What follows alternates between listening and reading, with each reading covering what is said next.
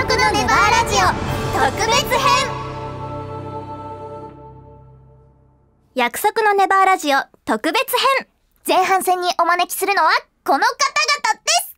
皆さんこんにちは孫樹役神尾慎一郎です。そしてマシモリのネバーランドなんへようこてそ。なんて？谷口さん。マシモリっていいなと思って、マシモリのネバーランドです。こんにちは、短役種崎あつみです。大丈夫ですか？独特な入りでマシモリで笑っちゃったんですかの声で言いたかったんですけマシモリど、マシモリがパワーワードすぎて笑っちゃったねまさかムジカで聞けるとは我々も思っていませんでした。い言えなかった。やーお二人に来ていただきました。よろしくおお願いします。願いいたしますマシモリにお願いしますマシモリにお願いいたします。表現しようってね。うんうん。いいなあのこの役ネバはですね、うん心理戦が醍醐味ということで、お互いの心理を読む力を試すゲームをちょっとここでやってみたいなと思います。嫌であフルスコアの皆さん相手にす。やだやだ。フルスコア皆さんの相手には無理ですよ無理だよ。ねえほん頑張ろうね。かっこいいとこかっこいいとこ見せてこうね。えー、今日挑むのは役ネバワード鬼ごっこですワード鬼ごっこ、うん、これから4人それぞれにとあるワードが配られます。いい声になったな。鬼の立場になる3人には同じワード。しかし1人だけ標的になる人間には3人と違うワードが配られます。なるほどね。せーので配られたワードについてトークを始め4人の中の誰が人間なのか正体を暴き合う鬼対人間の心理バトルです。鬼になりてー私も鬼がいい。私も鬼がいい、うん、これはもうまさにね 鬼の世界に身を潜めるエマたち対追っかけ回す鬼の構造ができるというわけですね。確かに。あーなるほどね。ちなみにワードが配られた時自分が人間か鬼かはわからない状態です、うん。トーク中にあれみんなが言ってること自分には当てはまらないってなる瞬間やあの人の発言変だなといったわずかな違いを読み取って自分の立場がどっちなのかということを見極めるのが勝利の鍵です。なるほど。最終的に人間と予想する人を指差しで投票します。で一番多く票を集めた人が人間だったら鬼の勝ち。逆に鬼に多く票が集まったら人間の勝ちです。ええ。めっちゃ難しそうじゃないか。難しいよ。不用意な発言で殺されちゃうんでしょ？確かに。ポロッと言っちゃったことがわ鍵になっちゃうかも。鬼がいいよ。何？やだ。緊張してきちゃった。ワードを配っていただきました。それでは早速、役ネバワード鬼ごっこスタートそれではまず最初にトークのブーストとして、えーそれぞれワードについて一言ずつコメントをしていただきたいと思います。じゃあこれ僕からいくね。わかりやすいから。お願いします。なんか多分ですけど、僕のはもうとりあえず食べ物なんですよね。あそういうなるほど、そんぐらいまでいっちゃおうかなと思って。あひよちゃん？私はやっぱあなんだろう小腹が空いた時とかかな。あじゃあまあいいですね。うん。うん。わかるわかる。ゃん。は私小林さん。は好きですこれ。うまいぞこれ結構好きな。主観でいくねいいね種崎さん。は、いろん。な種類あるああありますあねるよね。じゃあなん。か食べ物感はみんなあってそうですよね。食べ物っぽいなみたいな小腹が空いたり食べるとか。うん。確かに。森さんも好きだってことだし。私大好きです。でなんか味も味もあるよみたいな。そうですね。ね。ただこれ味とか突き詰めていくと危なそうだ何からとか危なそうな気しません？でも。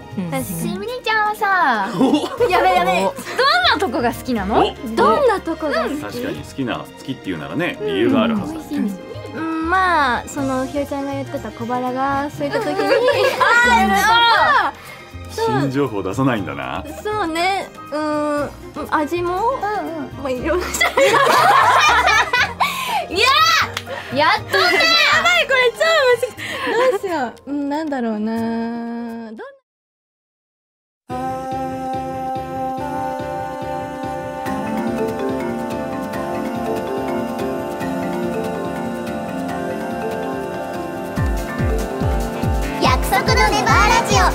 特別編。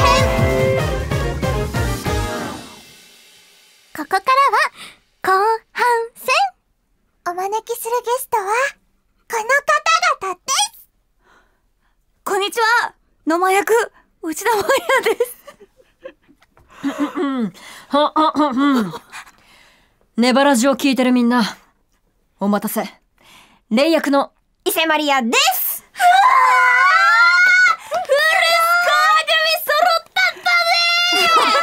自分待って待ってまだついていけてないんだけど。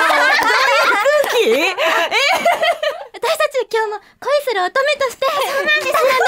あの、何を隠そう私たち、ああれさ、特別編収録するときさ、髪巻いて可愛い服着ていこうぜ。ピンク着てきちゃった私、乙女スカート履いてきちゃいました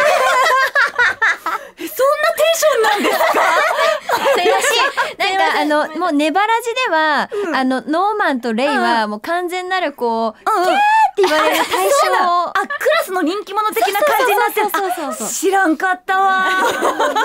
あでその感じで今日は行きます。あのお気になさらずもわかりました。リラックスして。ももはや。それではね、最後いよいよ。ラストとなる3軒目のテストはこちらです。リベンジ。起き上がりペットボトルテスト伊勢さん、はい。あの時の屈辱を晴らす時が来ました。とうとう来たか やるしかない。本当に3人揃って惨敗したという黒歴史がありますので、はマイナス100点の後に。あの、今まで勝ってなかったね。未だか。つてない減点がありました。そんな悪夢が蘇りますが、ルールはとってもシンプルです。水を適度に入れたペットボトルを指で弾いて起き上がりこぼしのようにバウンドして立ち上がらせるだけ。フルスコアの条件は4人で2回成功させることです。内田さんはこの遊びはしたことありますか、これ初めてです。あ、どうかな？なんか簡単にやってる感じもするし。そうなんかしうん、仕組みとしてはそんなね難しくはない。複雑なものではないんですけどコツはいるかもしれないですね、決めたいね最後ね。うん決めたい、ねうん。決めたい。私も決めこたい。れ、でも、うん。私順番的に、多分最後とかだったらもう絶対プレッシャーにうん。勝てる気がしないと思って、やっぱりここは、伊勢さんに。私が最後？え、まあこう。ちょっとあー確かにかっこよく決めてほしい。なんかもうみんなが3人がダメな可能性も全然あるじゃないですか。うんうんうんうんうん。やっぱり、好みの綱として。救世主伊勢さんですからね、なんということだ。仕方ない。やりますか。やりましょう。楽しい。嬉しい。えじゃあやるよやろうかな。ちょっじゃあとこちらから、うん。それでは行きましょう。内田さんのリベンジ起き上がりペットボトルテストよーい始め!いきます